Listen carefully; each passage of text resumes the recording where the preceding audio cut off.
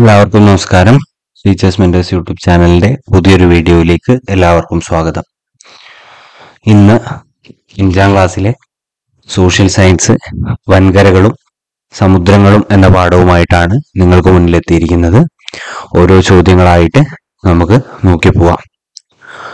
സമുദ്രങ്ങൾക്കിടയിലായി സ്ഥിതി ചെയ്യുന്ന അതിവിശാലമായ കരഭാഗങ്ങൾ അറിയപ്പെടുന്നത് വൻകരകൾ എന്നാണ്. സമുദ്രങ്ങൾക്കിടയിലായി സ്ഥിതി ചെയ്യുന്ന അതിവിശാലമായ കരഭാഗങ്ങൾ അറിയപ്പെടുന്നത് വൻകരകൾ എന്നാണ്. ഏറ്റവും വലിയ വൻകര ഏഷ്യ വൻകര. ഏറ്റവും വലിയ വൻകര ഏഷ്യ വൻകര.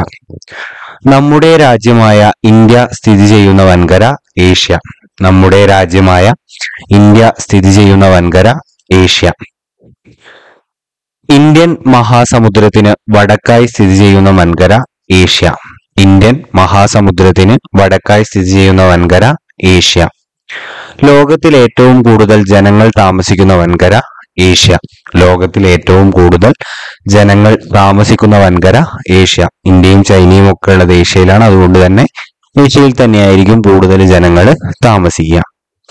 ലോകത്തിലെ ഏറ്റവും ഉയരം കൂടിയ കൊടുമുടി എവറസ്റ്റ്. എവറസ്റ്റ് സ്ഥിതി ചെയ്യുന്നത് നേപ്പാളിലാണ്. ലോകത്തിലെ ഏറ്റവും ഉയരം കൂടിയ കൊടുമുടിയാണ് എവറസ്റ്റ് കൊടുമുടി എന്ന് പറയുന്നത്. എവറസ്റ്റ് കൊടുമുടി സ്ഥിതി ചെയ്യുന്നത് നേപ്പാളിലാണ്. ലോകത്തിലെ ഏറ്റവും വലിയ പർവതനിര ഹിമാലയ പർവതനിര. ലോകത്തിലെ ഏറ്റവും വലിയ പർവതനിര ഹിമാലയ പർവതനിരയാണ്. എവറസ്റ്റ് ഹിമാലയം എന്നിവ സ്ഥിതി ചെയ്യുന്ന വൻകര ഏഷ്യ. എവറസ്റ്റ് ഹിമാലയം എന്നിവ സ്ഥിതി ചെയ്യുന്ന വൻകര ഏഷ്യ വൻകര. ലോകത്ത് ഏറ്റവും കൂടുതൽ നെല്ല് ഉൽപ്പാദിപ്പിക്കുന്ന വൻകര ഏഷ്യ. ലോകത്ത് ഏറ്റവും കൂടുതൽ നെല്ല് ഉൽപ്പാദിപ്പിക്കുന്ന വൻകര ഏഷ്യ വൻകര. വൈവിധ്യങ്ങളുടെ ഭൂഖണ്ഡം എന്നറിയപ്പെടുന്ന വൻകര ഏഷ്യ വൻകര. വൈവിധ്യങ്ങളുടെ ഭൂഖണ്ഡം എന്നറിയപ്പെടുന്ന വൻകര ഏഷ്യ വൻകര. വലുപ്പത്തിൽ രണ്ടാം സ്ഥാനത്തുള്ള വൻകര ഏത്? ആഫ്രിക്ക. വലുപ്പത്തിൽ രണ്ടാം സ്ഥാനത്തുള്ള വൻകര ആഫ്രിക്ക. ഇന്ത്യൻ മഹാസമുദ്രത്തിനും അറ്റ്ലാന്റിക് സമുദ്രത്തിനിടയിലുമായി സ്ഥിതി ചെയ്യുന്ന വൻകര ആഫ്രിക്ക. ആഫ്രിക്ക സ്ഥിതി ചെയ്യുന്നത് ഇന്ത്യൻ മഹാസമുദ്രത്തിനും അറ്റ്ലാന്റിക് സമുദ്രത്തിനും ഇടയിലാണ് എന്നുള്ളത് മനസ്സിലാക്കുക. ജനവാസത്തിൽ രണ്ടാം സ്ഥാനത്തുള്ള വൻകര ആഫ്രിക്ക. ജനവാസത്തിൽ രണ്ടാം സ്ഥാനത്തുള്ള വൻകര ആഫ്രിക്ക വൻകര. ലോകത്ത് ഏറ്റവും കൂടുതൽ വന്യജീവി സമ്പത്തുള്ള നിബിഡ വനങ്ങൾ കാണപ്പെടുന്ന വൻകര ആഫ്രിക്ക. ലോകത്ത് ഏറ്റവും കൂടുതൽ വന്യജീവി സമ്പത്തുള്ള നിബിഡ വനങ്ങൾ കാണപ്പെടുന്ന വൻകര ആഫ്രിക്ക വൻകരയാണ്. ലോകത്ത് ഏറ്റവും കൂടുതൽ വന്യജീവി സമ്പത്തുള്ള നിബിഡ വനങ്ങൾ കാണപ്പെടുന്ന വൻകര ആഫ്രിക്ക വൻകരയാണ്. ലോകത്തിലെ ഏറ്റവും വലിയ മരുഭൂമിയായ സഹാറ മരുഭൂമി സ്ഥിതി ചെയ്യുന്ന വൻകര ആഫ്രിക്ക. ലോകത്തിലെ ഏറ്റവും വലിയ മരുഭൂമിയാണ് സഹാറ മരുഭൂമി. ഈ സഹാറ മരുഭൂമി സ്ഥിതി ചെയ്യുന്ന വൻകര ഏതാണ് എന്ന് ചോദിച്ചാൽ ആഫ്രിക്കയാണ്. ലോകത്തിലെ ഏറ്റവും നീളം കൂടിയ നദിയായ നൈൽ ഏത് വൻകരയിലൂടെയാണ് ഒഴുകുന്നത്? ആഫ്രിക്ക. അപ്പൊ നമ്മുടെ ലോകത്തിലെ ഏറ്റവും വലിയ നദി ഏത് എന്ന് ചോദിച്ചാൽ അത് നൈൽ നദിയാണ്. ഈ നൈൽ നദി ഏത് വൻകരയിലൂടെയാണ് കൂടുതലായിട്ടും ഒഴുകുന്നത് എന്ന് ചോദിച്ചു കഴിഞ്ഞാൽ ആഫ്രിക്ക വൻകരയിലൂടെയാണ് കൂടുതലായിട്ടും ഒഴുകുന്നത്. അന്താരാഷ്ട്ര നദി എന്ന് വിശേഷിപ്പിക്കാവുന്ന നദി നൈൽ നദിയാണ്. നൈലിന്റെ നീളം ആറായിരത്തി എണ്ണൂറ്റി അൻപത് കിലോമീറ്റർ ആണ്. അന്താരാഷ്ട്ര നദി എന്ന് നമ്മൾ വിശേഷിപ്പിക്കുന്നത് നൈൽ നദിയാണ്. ഇതിന്റെ നീളം എന്ന് പറയുന്നത് ആറായിരത്തി എണ്ണൂറ്റി അൻപത് കിലോമീറ്റർ ആണ്. നൈൽ നദി ആഫ്രിക്കയിലെ ആഫ്രിക്ക വൻകരയിലെ എത്ര രാജ്യങ്ങളിലൂടെ ഒഴുകുന്നു? പതിനൊന്ന് രാജ്യങ്ങളിലൂടെയാണ് ഒഴുകുന്നത്. നൈൽ നദി ആഫ്രിക്ക വൻകരയിലെ എത്ര രാജ്യങ്ങളിലൂടെ ഒഴുകുന്നു? പതിനൊന്ന് രാജ്യങ്ങളിലൂടെയാണ് ഒഴുകുന്നത്. ഈജിപ്ത് സുഡാൻ എന്നീ രാജ്യങ്ങളുടെ ജീവനാടിയായി വിശേഷിപ്പിക്കാവുന്ന നദി നൈൽ നദി ഈജിപ്ത് സുഡാൻ എന്നീ രാജ്യങ്ങളുടെ ജീവനാടിയായി വിശേഷിപ്പിക്കുന്ന നദി ഏതാണ് എന്ന് ചോദിച്ചാൽ അത് നൈൽ നദിയാണ് പസഫിക് അറ്റ്ലാന്റിക് സമുദ്രത്തിനിടയിലായി സ്ഥിതി ചെയ്യുന്ന വൻകര വടക്കേ അമേരിക്കയാണ്. അപ്പൊ നമ്മൾ വടക്കേ അമേരിക്ക എന്നുള്ള വൻകര എവിടെയാണ് സ്ഥിതി ചെയ്യുന്നത് എന്ന് ചോദിച്ചാൽ അത് പസഫിക് അറ്റ്ലാന്റിക് സമുദ്രത്തിനിടയിലായിട്ടാണ് വടക്കേ അമേരിക്ക എന്നുള്ള വൻകര സ്ഥിതി ചെയ്യുന്നത് എന്നുള്ളത് ഓർത്തിരിക്കുക. വലിപ്പത്തിൽ മൂന്നാം സ്ഥാനത്തുള്ള വൻകര വടക്കേ അമേരിക്കയാണ്. വലിപ്പത്തിൽ മൂന്നാം സ്ഥാനത്തുള്ള വൻകര വടക്കേ അമേരിക്ക.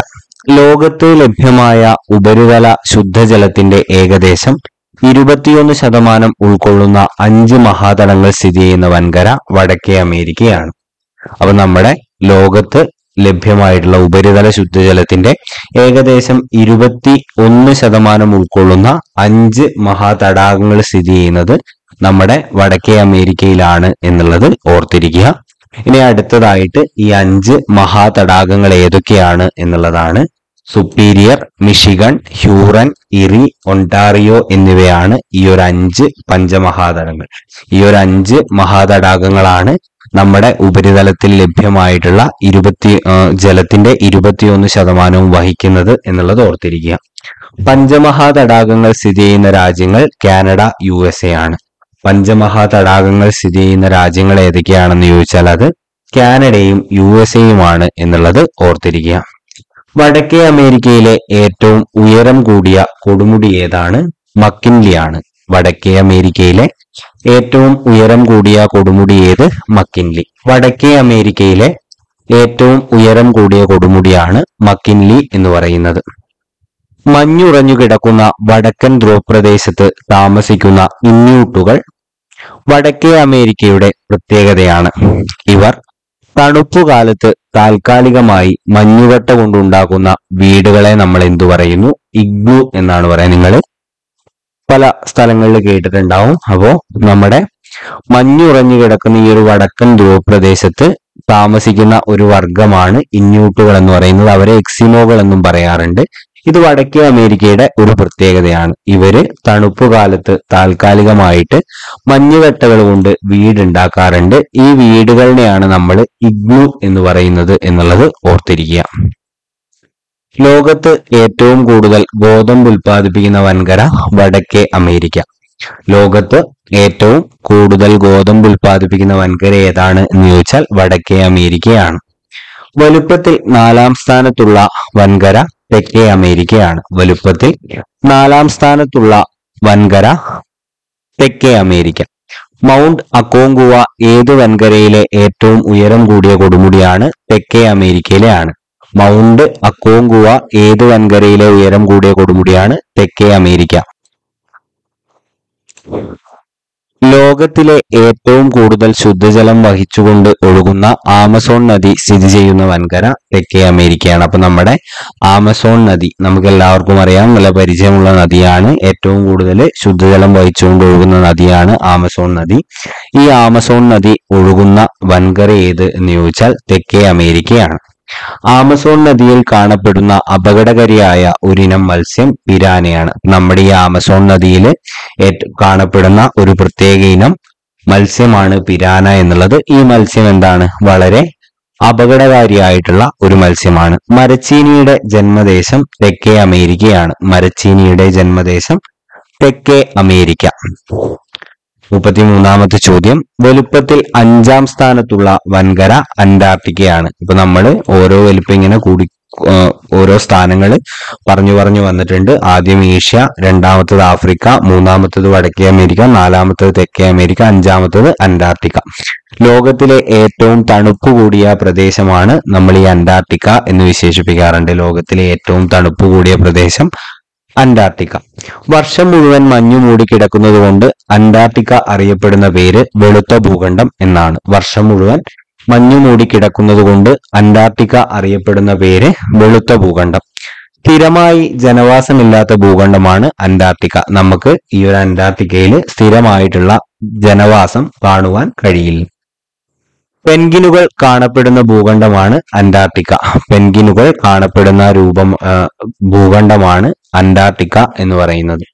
മൈത്രി ഭാരതി തുടങ്ങിയ ഇന്ത്യയുടെ ഗവേഷണ കേന്ദ്രങ്ങൾ സ്ഥിതി ചെയ്യുന്ന വൻകരയാണ് അന്റാർട്ടിക്ക.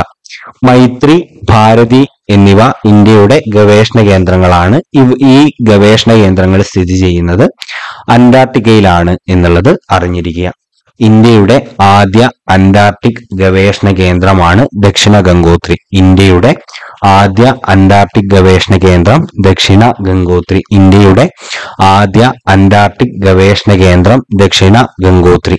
ഇന്ത്യ അന്റാർട്ടിക്കയിലെ ദക്ഷ- ദക്ഷിണ ഗംഗോത്രിയിൽ തപാൽ ആപ്പീസ് തുറന്ന വർഷം ആയിരത്തി തൊള്ളായിരത്തി എൺപത്തി മൂന്ന് ഇന്ത്യ അന്റാർട്ടിക്കയിലെ ദക്ഷിണ ഗംഗോത്രിയിൽ തപാലാപ്പീസ് തുറന്ന വർഷം ഏത് എന്ന് ചോദിച്ചാൽ അത് ആയിരത്തി തൊള്ളായിരത്തി എൺപത്തി മൂന്നാണ് അറ്റ്ലാന്റിക് സമുദ്രത്തിനും ഏഷ്യ വൻകരയ്ക്കും ഇടയിലായി സ്ഥിതി ചെയ്യുന്ന വൻകര യൂറോപ്പാണ്.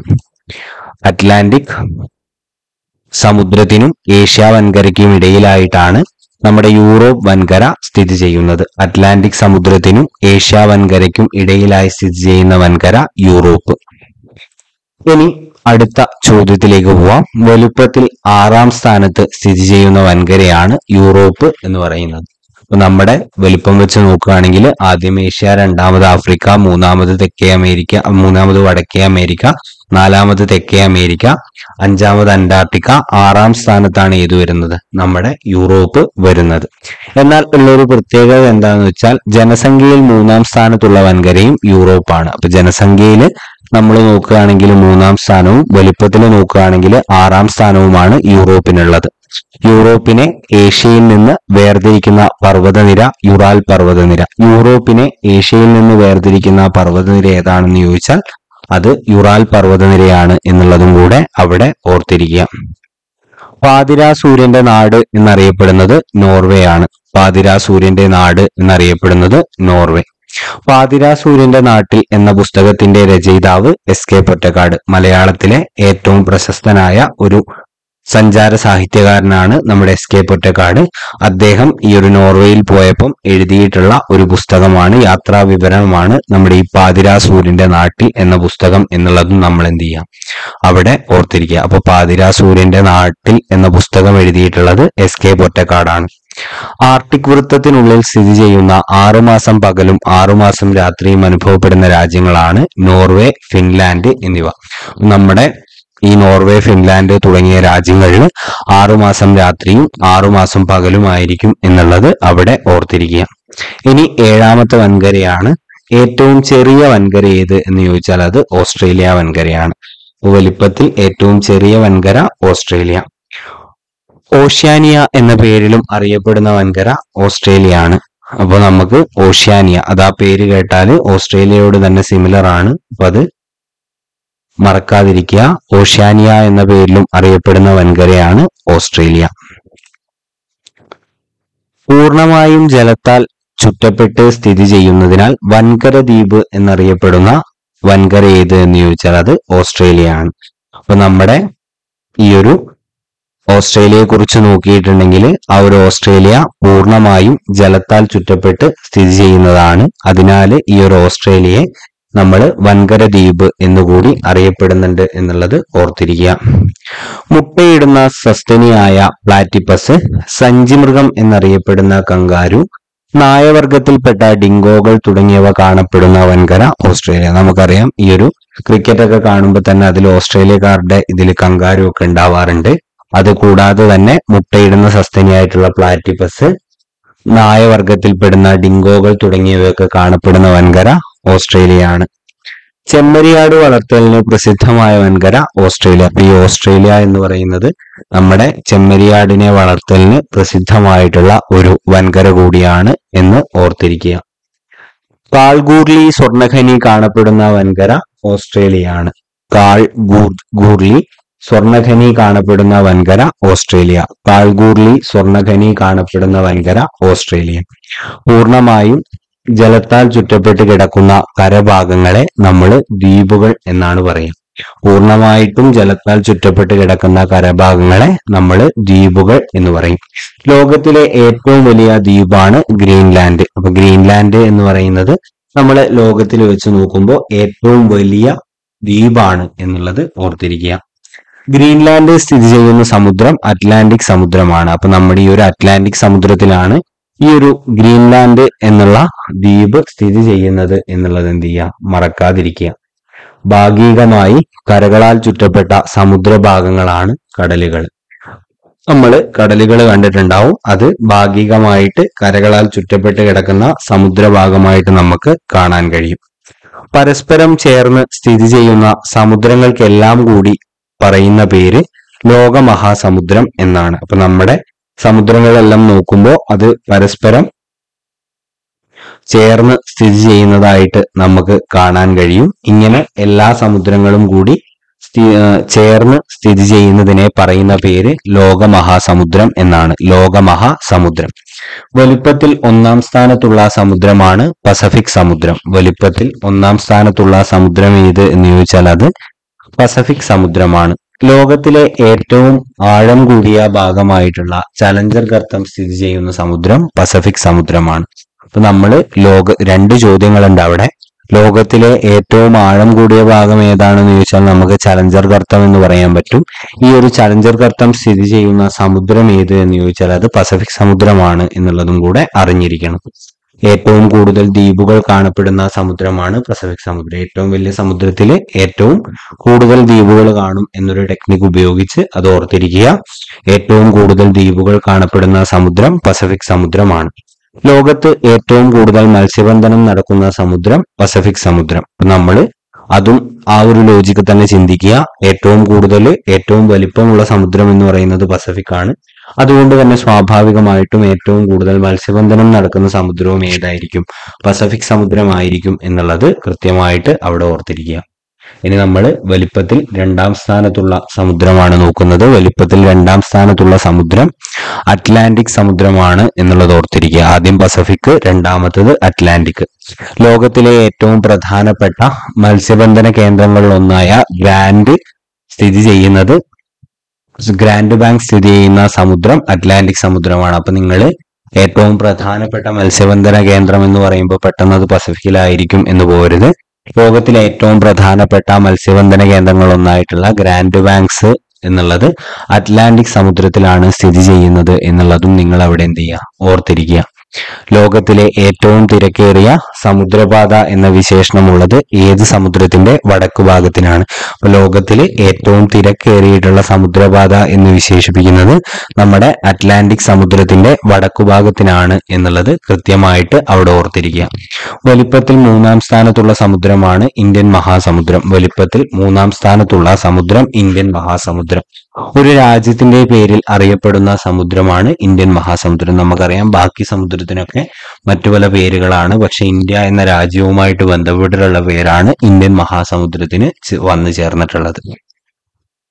നമുക്ക് അടുത്ത ചോദ്യം നോക്കാം. ഇന്ത്യൻ മഹാസമുദ്രത്തിന്റെ ഭാഗമായിട്ടുള്ള കടലുകൾ ബംഗാൾ ഉൾക്കടലും അറബിക്കടലും. നമുക്കറിയാം ഇന്ത്യയുടെ ഒരു തെക്ക് പടിഞ്ഞാറ് ഭാഗത്തായിട്ട് അറബിക്കടൽ കാണാൻ കഴിയും. ഒരു കിഴക്ക് തെക്ക് കിഴക്ക് ഭാഗത്തായിട്ട് നമുക്ക് എന്ത് കാണാൻ പറ്റും? ബംഗാൾ ഉൾക്കടലും കാണാൻ പറ്റും. ഇന്ത്യൻ മഹാസമുദ്രത്തിലെ ഒരു പ്രധാന പ്രത്യേകതയാണ് നമ്മളെ പവിഴപ്പുറ്റുകൾ. ഇന്ത്യൻ മഹാസമുദ്രത്തിലെ നമുക്ക് പവിഴപ്പുറ്റുകൾ കാണാൻ കഴിയും. ഉഷ്ണമേഖലാ സമുദ്രങ്ങളിൽ കാണപ്പെടുന്ന കോറൽ പോളിപ്പുകൾ എന്ന സമുദ്രജീവികളുടെ മൃതാവശിഷ്ടങ്ങൾ അടിഞ്ഞുകൂടി രൂപപ്പെടുന്നതാണ് പവിഴ പുറ്റുകൾ അപ്പോൾ ഈ ഒരു കോറൽ പോളിപ്പുകൾ എന്നുള്ള സാധനം നമുക്ക് അവിടെ മറക്കാതെ ഇരിക്കണം ഉഷ്ണമേഖലാ സമുദ്രങ്ങളിൽ കാണപ്പെടുന്ന കോറൽ പോളിപ്പുകൾ എന്ന സമുദ്രജീവികളുടെ മൃതാവശിഷ്ടങ്ങളാണ് എന്ത് രൂപപ്പെടാൻ കാരണമാകുന്നത്? പവിഴപ്പുറ്റുകൾ രൂപപ്പെടാൻ വേണ്ടിയിട്ട് കാരണമാകുന്നത് എന്നുള്ളത് ഓർത്തിരിക്കുക. അന്റാർട്ടിക് വൻകരയോട് ചേർന്ന് സ്ഥിതി ചെയ്യുന്ന സമുദ്രമാണ് അന്റാർട്ടിക് സമുദ്രം. നമ്മൾ അന്റാർട്ടിക് സമുദ്രം എന്ന് പേര് വരാൻ കാരണം എന്താണെന്ന് ചോദിച്ചാൽ അത് അന്റാർട്ടിക് വൻകരയോട് ചേർന്ന് സ്ഥിതി ചെയ്യുന്ന സമുദ്രമാണ് എന്നുള്ളത് ഓർത്തിരിക്കുക. ഉപരിഭാഗം ഏകദേശം പൂർണമായും തണുത്തുറഞ്ഞ അവസ്ഥയിലുള്ള സമുദ്രമാണ് അന്റാർട്ടിക് സമുദ്രം എന്ന് പറയുന്നത്. അപ്പൊ നമ്മൾ ഈ ഒരു അന്റാർട്ടിക് സമുദ്രത്തിന്റെ പ്രത്യേകത എന്താണ് എന്ന് നോക്കുകയാണെങ്കിൽ ഈ ഒരു അന്റാർട്ടിക് സമുദ്രത്തിന്റെ പ്രത്യേകത അതിന്റെ ഉപരിഭാഗം ഏകദേശം പൂർണമായിട്ടും തണുത്തുറഞ്ഞ ഒരവസ്ഥയിലാണ്. ഉത്തര ധ്രുവത്തെ ചുറ്റിക്കിടക്കുന്ന സമുദ്രമാണ് ആർട്ടിക്. ഉത്തര ധ്രുവത്തെ ചുറ്റിക്കിടക്കുന്ന സമുദ്രം ഏത് എന്ന് ചോദിച്ചാൽ അത് ആർട്ടിക് സമുദ്രമാണ്. വർഷത്തിൽ ആറു മാസത്തിലേറെ കാലം മഞ്ഞു മൂടി കിടക്കുന്ന സമുദ്രമാണ് ആർട്ടിക് സമുദ്രം. ഇപ്പൊ നമ്മൾ ഈ ആർട്ടിക് സമുദ്രത്തിന്റെ പ്രത്യേകത എന്ത് എന്ന് ചോദിച്ചാൽ നമുക്ക് പറയാൻ കഴിയും വർഷത്തിൽ ആറുമാസത്തേക്കാൾ കൂടുതൽ കാലം മഞ്ഞു മൂടിക്കിടക്കുന്ന സമുദ്രമാണ് ആർട്ടിക് സമുദ്രം എന്നുള്ളത് ഓർത്തിരിക്കുക. ഭൂമിയിലെ സമുദ്രങ്ങളുടെ എണ്ണം എത്രയാണെന്ന് ചോദിച്ചാൽ അഞ്ചാണ്. നമ്മൾ ഈ കണ്ട അഞ്ച് സമുദ്രങ്ങൾ ഭൂമിയിലെ വൻകരകളുടെ എണ്ണം എത്രയാണെന്ന് ചോദിച്ചാൽ ഏഴ് വൻകരയാണ് ഉള്ളത് അപ്പൊ അത് വലിപ്പത്തിന്റെ അടിസ്ഥാനത്തിൽ കൃത്യമായിട്ടൊന്ന് ഓർഡർ ചെയ്ത് വെക്കുക. അതിന്റെ പ്രത്യേകതകളൊക്കെ ഈ ഒരു ചാപ്റ്ററിന് ഒന്ന് നോക്കി പോവാ. ഇത്രയും കാര്യങ്ങളാണ് ഈ ഒരു ചാപ്റ്റർ എന്ന് പറയാനുള്ളത്. വീഡിയോ നിങ്ങൾക്ക് ഉപകാരപ്പെട്ടു എന്ന് തോന്നുന്നു. ഉപകാരപ്പെട്ടിട്ടുണ്ടെങ്കിലും ഇതേപോലെ അടുത്ത ചാപ്റ്ററുകളുടെ വീഡിയോ വേണമെങ്കിലും നിങ്ങൾ കമന്റ് ബോക്സിൽ നിങ്ങളുടെ ആവശ്യങ്ങൾ രേഖപ്പെടുത്തുക. വീഡിയോ ഇഷ്ടപ്പെട്ടിട്ടുണ്ടെങ്കിൽ ലൈക്ക് ചെയ്യുക. ചാനൽ സബ്സ്ക്രൈബ് ചെയ്യുന്ന കാര്യം പരിഗണിക്കുക. കൂട്ടുകാർക്ക് കൂടി ഈ ഒരു വീഡിയോ ഷെയർ ചെയ്ത് കൊടുക്കുക. അടുത്ത ഒരു വീഡിയോവുമായിട്ട് വരുന്നതുവരെ താങ്ക്